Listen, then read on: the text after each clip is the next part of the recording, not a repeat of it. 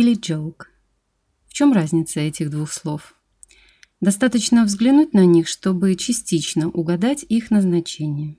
Длинные слова в английском языке чаще всего официальные и используются в более серьезных контекстах. Они требуют вдумчивого подхода и позволяют глубже взглянуть на ситуацию. Короткие же слова всегда повседневные, разговорные и бытовые.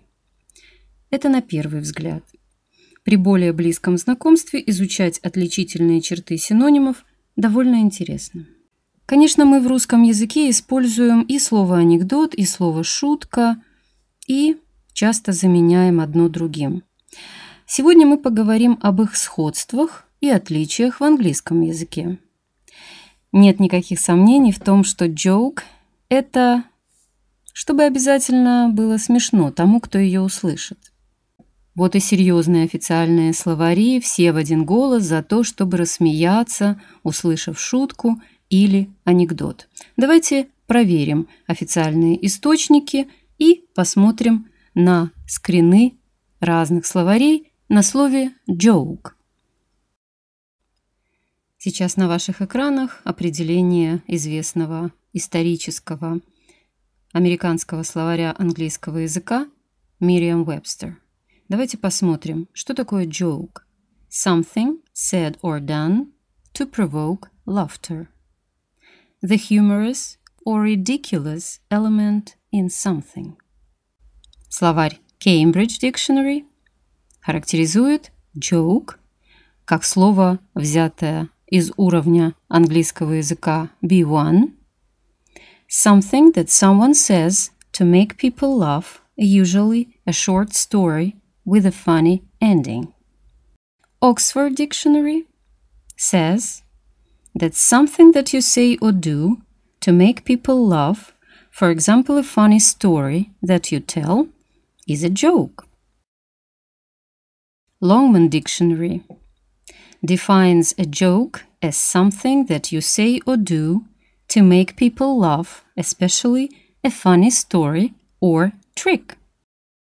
Macmillan Dictionary says that joke is something you say or do that is intended to make people laugh. Как вы видите, все словари единодушны. Теперь поближе познакомимся со словом anecdote. Знаете, все же для нас с вами это так называемый false friend.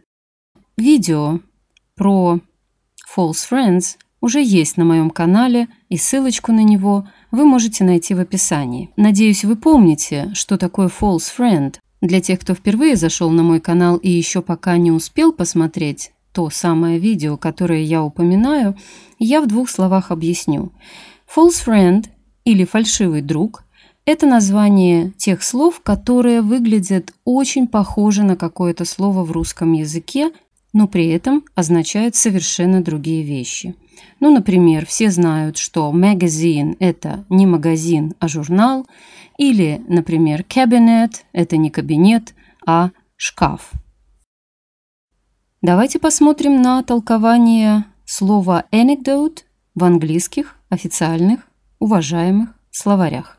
И решим с вами, почему же это слово можно называть фальшивым другом переводчика.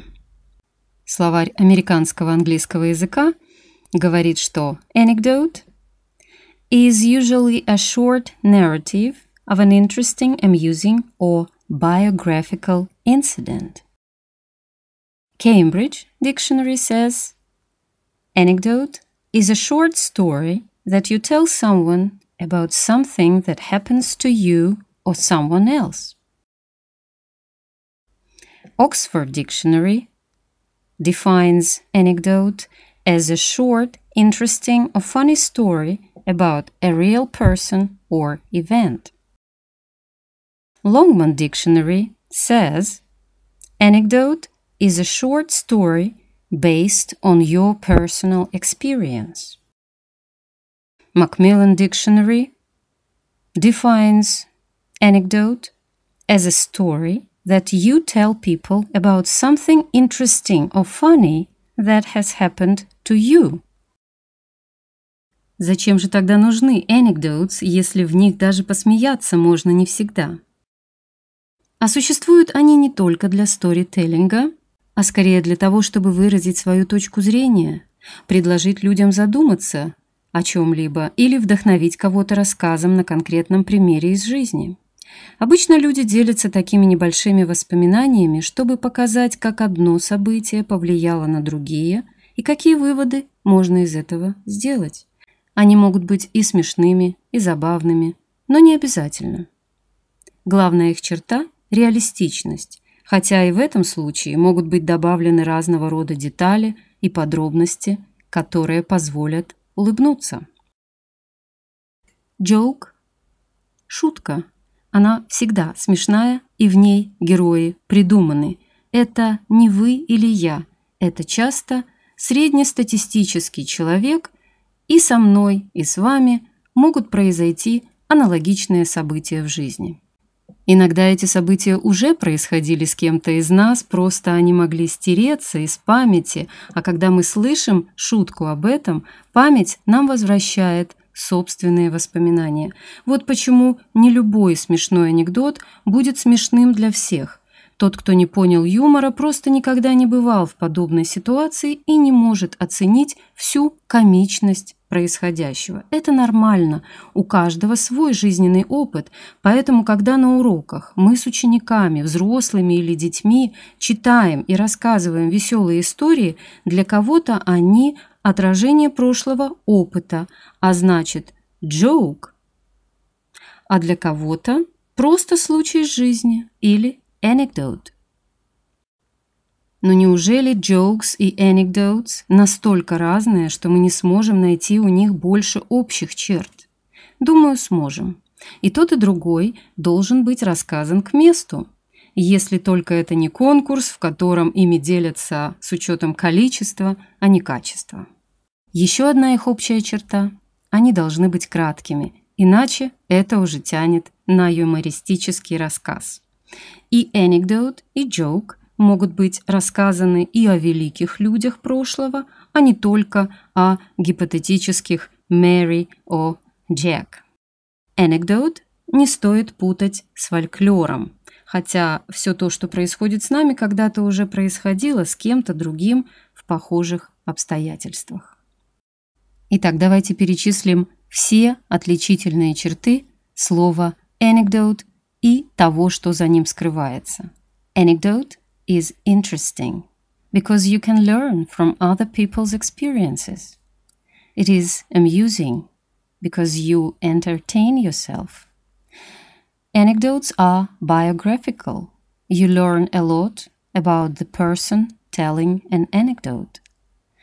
It can also be very personal and makes people closer to each other. Anecdotes can also be sad or even tragic, but it's always short. Sometimes anecdotes are funny. Anecdote is a story happened to you or someone else, a real person. Any anecdote can be part of a bigger story or lecture. Anecdotes can only be said, not done. Most anecdotes are thought provoking. They have educational aspect. We learn from other people's mistakes too. Anecdotes are persuasive. They are inspirational and of course they brighten the mood. But what about jokes? Jokes are definitely interesting. They are also amusing. But the characters in jokes are fictional. Jokes are always funny. They are supposed to be always funny. Jokes can be said to make people laugh or done to provoke laughter. Joke always has a punchline in the end. It also brightens the mood as well as an anecdote. Joke is usually short. It has a wide variety of topics as well as the anecdote. Jokes bring personal memories. Sometimes jokes surprises us if that hasn't happened to you or me. Some jokes can even be an example of a cheating or fraud. Jokes are never sad or tragic, but they can be a pun, a play on words, or black humor. Анекдоты и шутки играют огромную роль в изучении английского языка, и те, кто не используют их, явно недооценивают эту роль. Когда вы применяете новые знания и персонализируете изученное в рассказе о себе, вы уже соприкасаетесь с анекдотом и делаете это всякий раз в конце изучения новой словарной темы. Это приносит гораздо больше пользы, чем ужасные, написанные кем-то, безликие, не имеющие прямого отношения к вам топики. Эти топики обычно шаблонны, в то время как анекдоты – это и есть вы и ваша жизнь, рассказанная по-английски на пройденном языковом материале. А если вам предлагается к прочтению готовые шутки, это, во-первых, научит вас использовать правильные конструкции английских предложений, во-вторых, направит на тот уровень языка, который актуален для вас сегодня. В-третьих, позволит отработать формы глаголов. Вы знаете, что глаголы являются очень важной частью словарного запаса в английском языке. Узнать новые фразы задолго до их появления в учебной программе можно через прочтение анекдотов и шуток. Преимущества шуток можно перечислять очень долго. Но самое главное, это даст вам возможность произносить английские фразы уверенно, слушать себя. Шутки зафиксируют знания о порядке слов и придадут смелости в составлении собственных высказываний.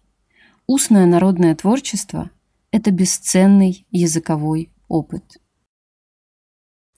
Ну и напоследок несколько примеров шуток, которые активно используются в изучении английского языка. Они бывают разных уровней. Автор довольно знаменит – Лезли Александр Хейл. Я только прочту для вас сопровождение к картинкам и не буду давать комментариев к содержанию – а вы, если будет желание, оставьте свой отзыв под видео, голосуйте лайками, потому что лайки сохраняют видео в вашем личном кабинете на YouTube, и вы сможете вернуться к нему в любой момент для повторного просмотра. Mrs. Jones was waiting for an important telephone call, but she had no bread in the house, so she left a baby at home and said to his five-year-old brother – I'm going to the shops, Jimmy, and I will be back in a few minutes. While she was out, the telephone rang and Jimmy answered. Hello, said the man. Is your mother there? No, answered Jimmy. Well, when she comes back, say to her, Mr. Baker telephoned. What? Mr. Baker. Write it down B A K E R. How to make a bee? How do I make? Listen, little boy, is there anybody else with you? Any brothers or sisters? My brother Billy is here. Good. I want to talk to him, please. All right. Jimmy took the telephone to the baby's bed and gave it to Billy. When their mother came back, she asked, Did anyone telephone? Yes, said Jimmy. A man. But he only wanted to talk to Billy. Mrs. Green was the manager of a large company, and she frequently had to have meetings with other business people in a room in her building. She didn't smoke at all, but many of the other people at the meetings did, so she often found the air during the meetings terrible. One day, after an hour, her throat and eyes were sore and she was coughing a lot. So she called a big air conditioning company and asked them to work out how much it would cost to keep the air of the meeting room in her building really clean. After a few days, the air conditioning company sent in two estimates for Mrs. Green to choose from. One estimate was for $5,000 to put in new air conditioning, and the other was for $5 for a sign which said no smoking. When George was 35, he bought a small plane and learned to fly it. He soon became very good and made his plane do all kinds of tricks. George had a friend. His name was Mark. One day, George offered to take Mark up in his plane. Mark thought, I've traveled in a big plane several times, but I've never been in a small one, so I'll go. They went up, and George flew around for half an hour and did all kinds of tricks in the air. When they came down again, Mark was very glad to be back safely, and he said to his friend in a shaking voice, Well, George, thank you very much for those two trips in your plane. George was very surprised and said, Two trips? Yes, my first and my last answered Mark. A history teacher was talking to his class about the ancient Romans. They were very strong, brave people, and they were good soldiers, he said. They always wanted to have strong bodies, so they played a lot of games. Did they like swimming? One of the girls asked. That makes people's bodies strong. She was very good at swimming. Oh, yes, some of them swam a lot, the teacher answered. Then he told them a story about one famous Roman. There was a big wide river in the middle of Rome, he said. It was the Tiber, and this man swam across it three times every day before breakfast. The girl laughed when she heard this. Why are you laughing? the teacher asked her angrily. Have I said anything funny? Well, sir, the girl answered, why didn't he swim across the river four times to get back to his clothes again? Al Brown was very good at fixing things around the house when they broke. One day he went to another city to do some work there, and his wife was alone in the house. While Mr. Brown was away, one of the faucets on the bathtub broke. Mrs. Brown didn't know much about fixing broken faucets, so she telephoned a plumber. The plumber came to the house that afternoon and fixed the faucet in a few minutes. When he finished, he gave Mrs. Brown the bill for the work. She looked at it for several seconds and then said, Your prices are very high, aren't they? Do you know the doctor costs less than this when he comes to the house? Yes, I know, answered the plumber. I know that very well, because I was a doctor until I was lucky enough to find this job a few months ago. Спасибо, что провели эти минуты со мной. Я надеюсь, вам понравилось это видео. Поэтому я жду вашей реакции, ваших комментариев и, конечно, подписывайтесь на мой канал. С вами была Оксана Перуцкая, частный преподаватель английского языка, человек, который говорит по-английски всю свою сознательную жизнь и преподает его последние 20 лет. Свой первый онлайн-урок я провела 8 марта 2008 года. Записывайтесь на мои уроки, контакты вы можете найти под этим видео и в моих социальных сетях. До новых встреч! Всего вам доброго! Пока!